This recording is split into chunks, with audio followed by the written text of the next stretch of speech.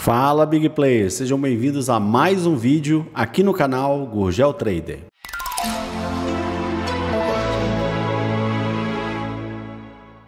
Olá pessoal, hoje eu vou fazer aqui o primeiro vídeo de uma pequena série, uma sériezinha de dois vídeos, baseada também no vídeo passado, onde a gente falou sobre gráficos laterais e tal.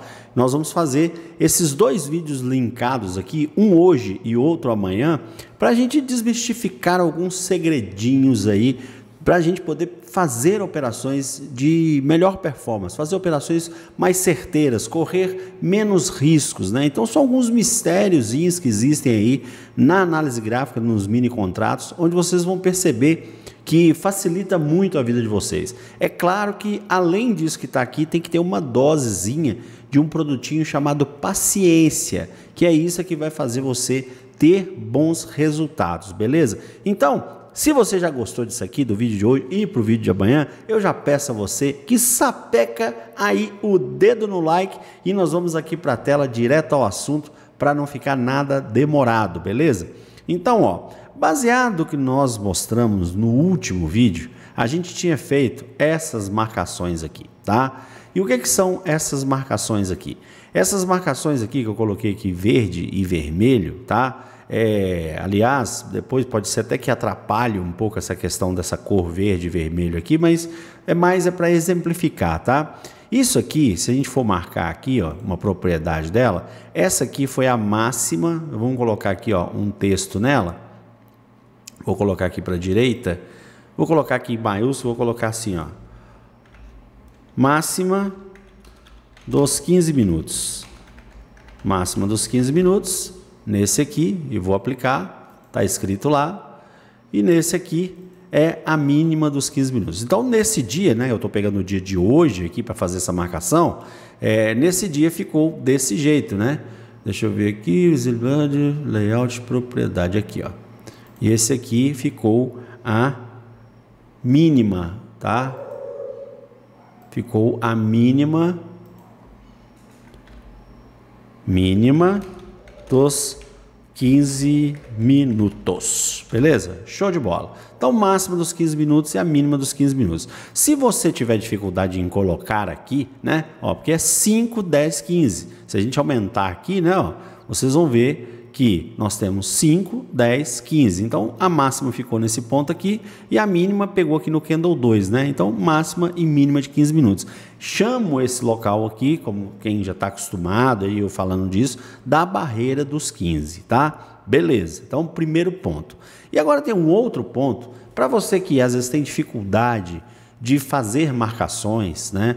De, de né? Ou onde é que eu vou colocar? Como que eu vou criar esse suporte e resistência? Como que eu vou criar pontos onde eu possa ter uma decisão legal, né?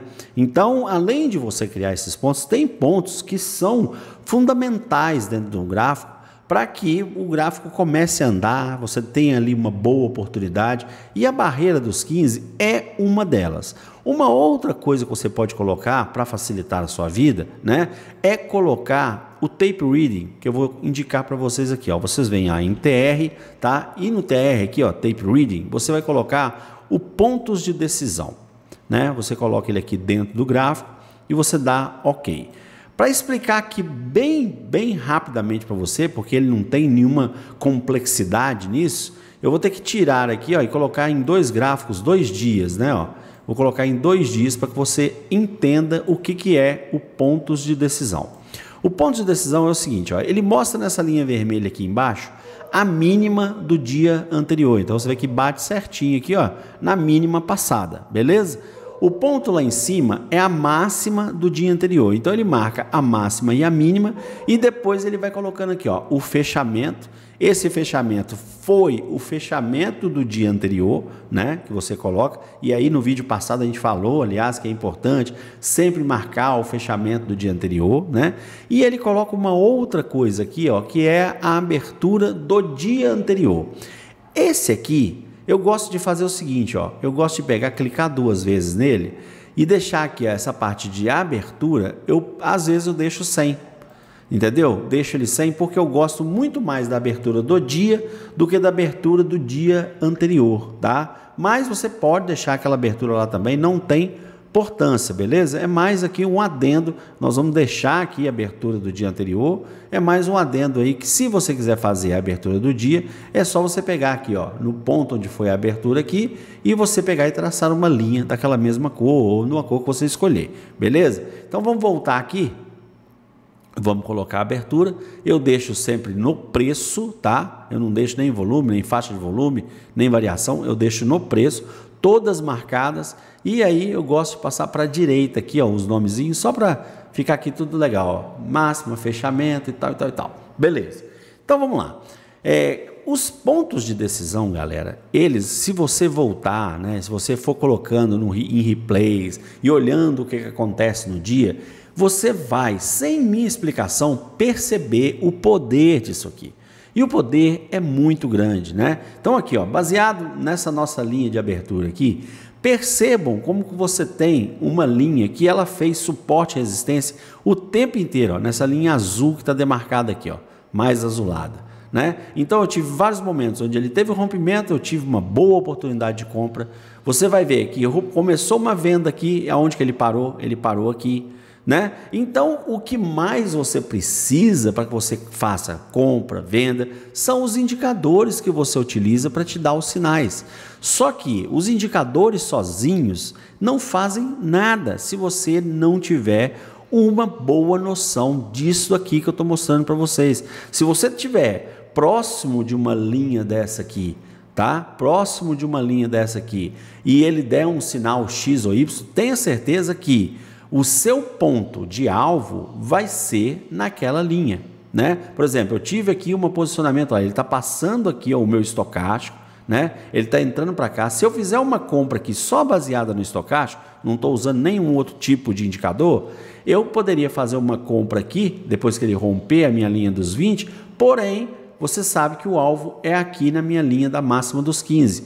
Né? Então, ou então na linha aqui dessa máxima que foi criada. Então você vai projetando o que, que você precisa fazer, o tamanho de cada operação sua. Se você vai fazer um scalp, você tem aqui é, bons detalhes para você fazer isso. Se você vai fazer uma, uma operação mais alongada, vai ter hora que você vai ter boas condições para isso. Então, essas linhas servem para isso. Elas servem para isso. O que está aqui dentro, ó, entre a linha de fechamento e esse ponto de abertura, isso aqui é o gap. Olha o que aconteceu nesse dia. Ele pegou o que a gente chama de recuperar aqui um pouco mais, eu acho, de 50% do gap. Né? Esse movimento é um movimento que acontece demais também. Né?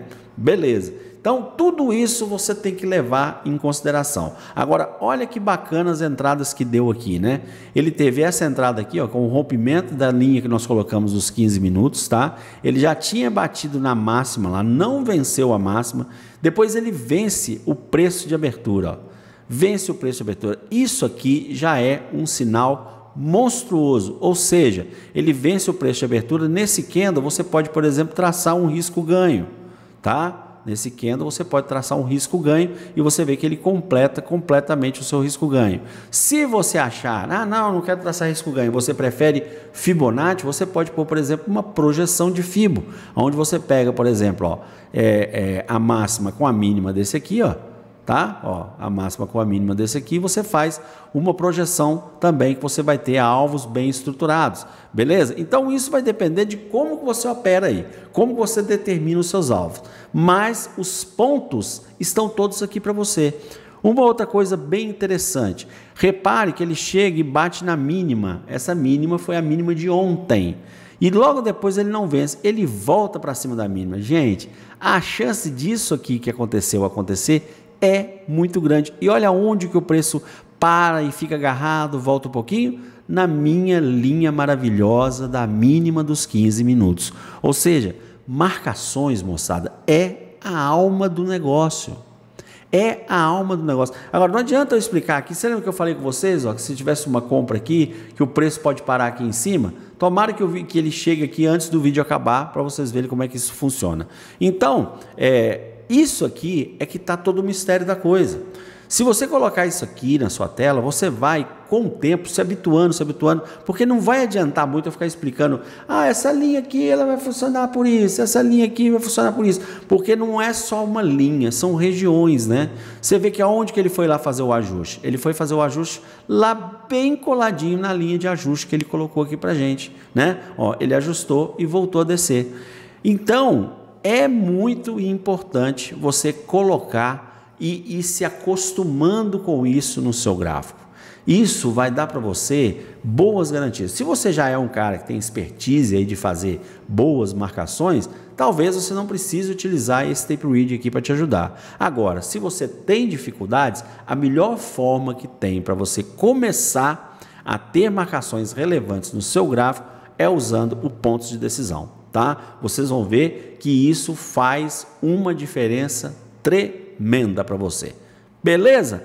Gostou? Se gostou, meu amigo e minha amiga, sapeca aí o dedo no like, não perde o próximo vídeo que tem mais um adendo sobre isso aqui que nós estamos mostrando para você. Um grande abraço e até lá. Tchau, tchau.